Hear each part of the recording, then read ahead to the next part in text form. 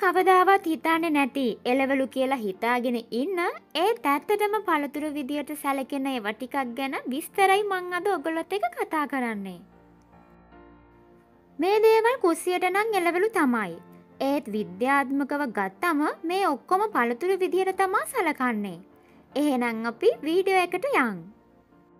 ඊට කලින් තාමත් අපේ කුතුහලය YouTube චැනලය සබස්ක්‍රයිබ් කරලා නැත්තම් දැම්ම සබස්ක්‍රයිබ් කරලා බෙල් අයිකන් එක කලික් කරලා තියාගන්න. ගොඩක් වෙලාවට එළවලුවක් කියලා පටලගන්න ප්‍රධාන ආහාර වර්ගයක් තමයි තක්කාලි. අපි හොදි මාළුපිණි රසවත් කරන්න මේ තක්කාලි යොදාගත්තට සොලන්ස් පවුලෙන් පැවතෙන තක්කාලි සැබවින්ම පළතුරා. උත්පිති විද්‍යාඥයන්ට අනුව මේක පළතුරක් ලෙස හැඳින්වුවත් ඇමරිකාවේ අධිකරණ නීතියෙන් එළවලු මිලගණන් ඉහළ නැන්නූ අවස්ථාවේ තක්කාලි හැඳින්වුවේ එළවලුවක් විදිහට. ඒ වගේම පෝෂණවේදීන්ට අනුවත් මේක එළවලුවක්. තක්කාලි සැබවින්ම කුස්සයට එළවලුවක් වුණත් උද්භිද තක්කාලිවල තියෙන ඇට නිසාත් ඒවා හටගන්නේ මල්වලින් නිසාත් මේක උද්භිත විද්‍යාත්මකව පළතුරක්. ඊළඟ පළතුර තමයි ගර්කින්. පිපිඤ්ඥාවල එක් ප්‍රබේදයක් වන ගර්කින් උද්භිද වර්ගීකරණයට අනුව සැලකෙන්නේ පළතුරක් විදිහට. ගර්කින් කොමඩු සහ කැන්ඩලූප් එකම කුලයකට අයත් වෙනවා. කොමඩුසා කැන්ඩලූ පළතුරු විදියට හඳුන්වන නිසාවෙන් ඒ කුලයටම අයත් ගකිනුත් අපට පළතුරු විදියට හඳුන්වන්න පුළුවන්. පිපිඤ්ඥාවල තියෙන පොඩි ඇට හා මේවා හටගන්නේ මල්වලින් කියන කාරණය නිසාත් ගකීන් හඳුන්වන්නේ පළතුරක් විදිහට.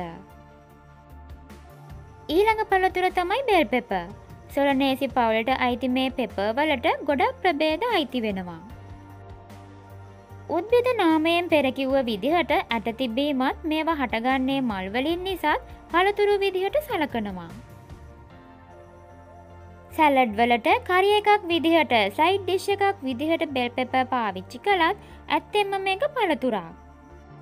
මොකද උද්භිද විද්‍යාත්මකව පළතුරක් විදියට හඳුන්වන්නේ ප්‍රධාන බීජයක් සහිතව එහෙම නැත්තම් ඩිම්ම කෝෂයක් සහිතව වර්ධනය වන බීජ දරන ශාකවලටයි.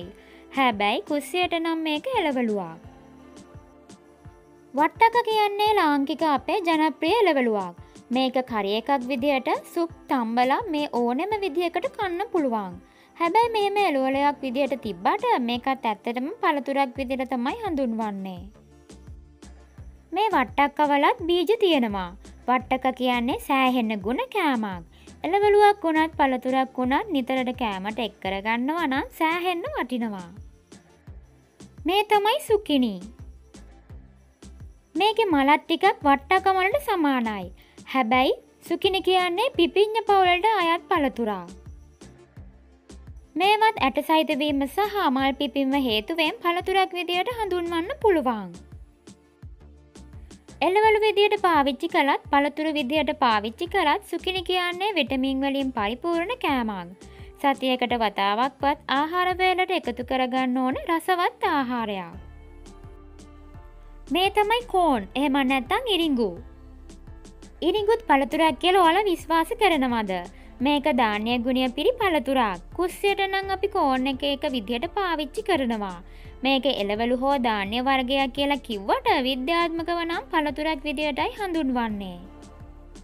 මේව සාමාන්‍ය ජීවිතයේදී පළතුරක් කියලා කොහෙත්ම භාවිතා නොවනත් උද්භිත විද්‍යාත්මකව අර කලින් කිව්ව සාධකම තමයි පිළිගන්නේ. කෝන් කියන්නෙත් පෝෂණය සහ ශක්තිය නොවඩුව අපිට සපයන කෑමක් නිසා මේක උපත එළවලුද දාන්නේද පළතුරක්ද කියලා නොහිතාම කෑමට එක්කරගන්න ඕනා. ෆයිබ පොටෑසියම් විටමින්සි අඩංකු බණ්ඩක්කා එළවලුවක් නෙමේ කිවෝත්නම් ටික කවුල් වගේ නේද. ඔවු ඒක ඉතින් විද්‍යාත්මක පදනමින් ගත්තම පළතුරක් කියලයි සඳහන් වෙන්නේ. ඉතිං ඔයාලා හීනකින්වත් හිතන්නේ නෑනේද බන්නක පළතුරක් වේ කියලා. අස්තිවල සෞඛ්‍යයට වැදගත් පෝෂ පදාත සපයන බණ්ඩක්කා ඉතාමත් ගුණ ආහාරයක්. මේ වගේ ඔබ නොදන්න ඒ වගේම නොහිතන දේවල් දැනගන්න අපගේ YouTube චැනලය සබස්ක්‍රයිබ් කරලා තියාගන්න. ඒ වගේම ඔගොල්ලගේ අදහසත් කමෙන්ට් කරන්න අමතක් කරන්න එපා. තවත් වීඩියෝ එකින් හමුවනතුරු ඔබට සුබ දවසක්.